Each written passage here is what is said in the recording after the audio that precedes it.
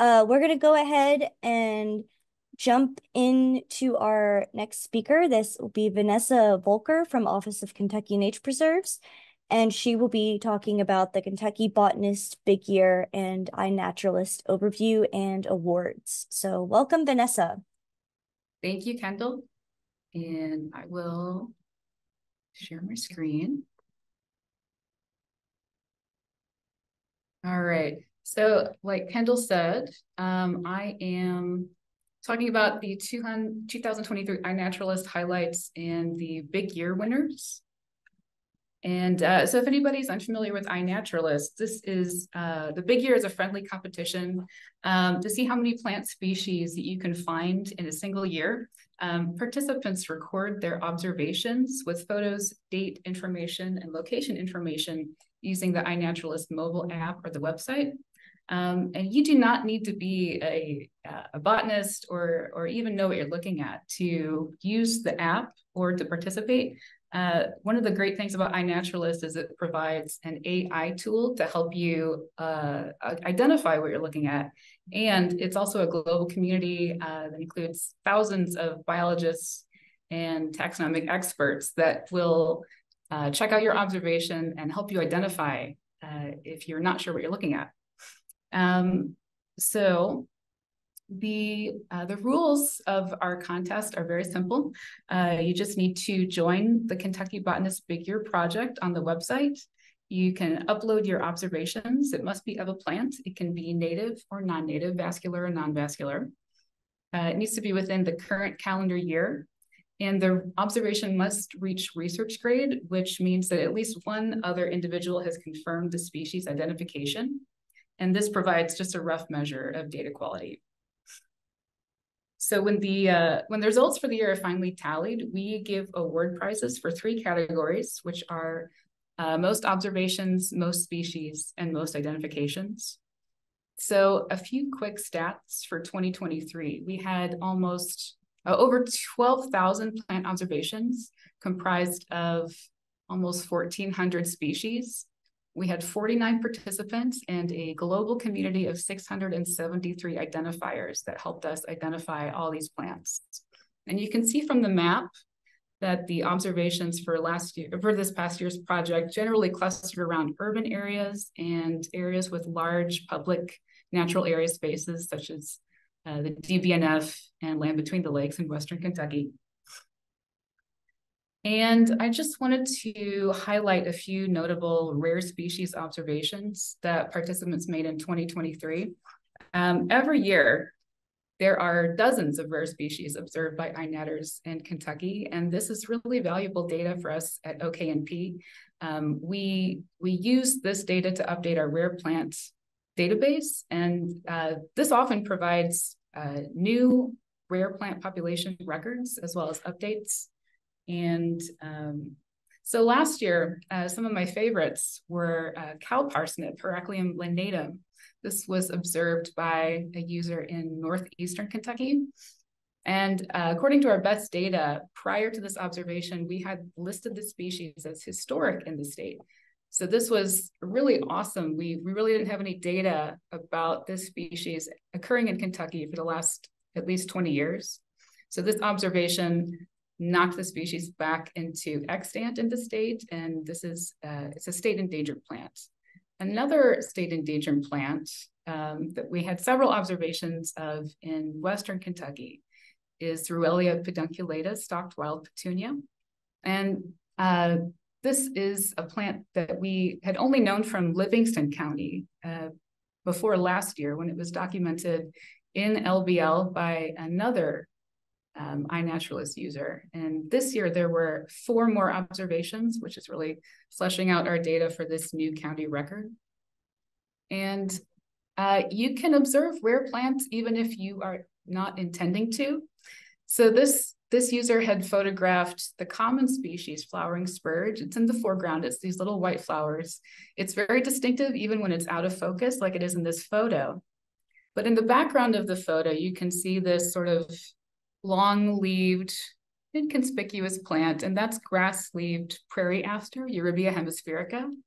Um, so we occasionally see rare plants in the background of photos, and, and this is a really fun way for us to get data as well. And having said all that, uh, we'll move on to the winners of this last year's big year. So for most identifications, Bill Powell uh, was our winner with 3,443 identifications. And this was um, on iNaturalist, there are usually more uh, observers than identifiers. And the work of identification is really important because it's really what makes iNaturalist um, what it is. Uh, having people help us with identifications is so crucial. And, and, so every year I try to encourage people to do these observations, whatever you can contribute, whatever you know and can share knowledge about is really helpful. And Bill answered this call uh, in a really prodigious way. And what I appreciate about Bill is that he'll often uh, tag me in observations where he thinks the observation might be of interest to me, whether it is a rare plant or something that needs identifying. And um, I really appreciate how active he's been this past year in the uh, identifying. And this is a photo that he actually took of, you can see there are a few clusters here where the flowers, which are usually blue on the bottom and white on top, are all Bill saw, um, I think, close to his own house in the woods. And for most observations, Rena Tuttle Wheeler, won, uh, Rena uh, previously lived in Louisville but has moved to Massachusetts. It's our last but Massachusetts gain. Um, one thing I really appreciate about her observations are, is that they they're often within the city limits. And Rena has a really keen eye for seeing obscure and uh, not very showy plants that other people are most likely to overlook. So the three plants in the photos here from left to right are, um, are Parietaria pensylvanica, Bassioscoperia, and Salsola tragus. These are each fairly weedy species. Um, and as I said, rather obscure. They're in families where the flowers are small and they're just very easy for people to overlook. Um, but the, the latter two species, uh, this was the first year that they were actually observed by iNatters in Kentucky. Um, and I, I, just really appreciate her attention to detail. All of her observations are very uh, intentional and thoughtful, and she takes a lot of care to photograph details of these small flowers or just interesting morphologies. And I, I really enjoy seeing her observations of these weedy but interesting urban plants. And uh, for most species, Melody Cunningham, who spends a lot of time birding and botanizing in LBL, was our winner with 492 species.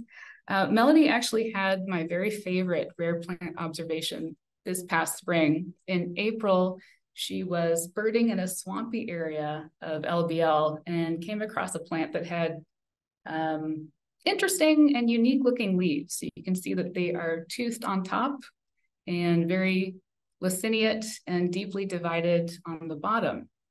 And so just curious to know what it was, she took a few photos and uploaded those. And I think I saw them the same day and reached out to her and mentioned that they looked a lot like lake cress, which is a state threatened species here in Kentucky. Um, and I just mentioned if she happened to be back in that area, she might keep an eye out in the coming weeks because it should be blooming. It has small white flowers. They're not very showy, but it would help to confirm the ID. Um, and I didn't really expect that she would necessarily go back because she she likes to get out and explore all around that natural area. But uh, vastly exceeding my expectations, Mel went back to this same site at least five times over the next few weeks, uh, just tromping through muddy water uh, muddy woods and standing water to see these plants. And every few days, she would email me with updates to let me know that she'd found a few plants here, another dozen plants here, several hundred more plants. And then she finally found them in bloom. And it was, it's, it was just really heartwarming to get these updates from her and to see how excited she was to see this rare plant. Um, this uh, the plants that she saw were actually in a location that we had really old data about. They were initially documented in the early 80s, um, but they had not been revisited by botanists since then. So the data that we had on these plants was at least 40 years old. Um, and so having Mel go out there and thoroughly document the location and numbers of plants um, was really helpful to us in maintaining our rare plant data. And I just really appreciate all these people for their interest and uh, attention to detail and curiosity. Um, and finally, I just wanted to mention if you are interested in joining 2024's project, please visit us on iNaturalist. You can just click the join button in the top right corner um, and that will uh, collect all of your observations and you can have fun with us and identify things and um, hopefully find some interesting plants this year. Um, if you have any questions, uh, please ask them now.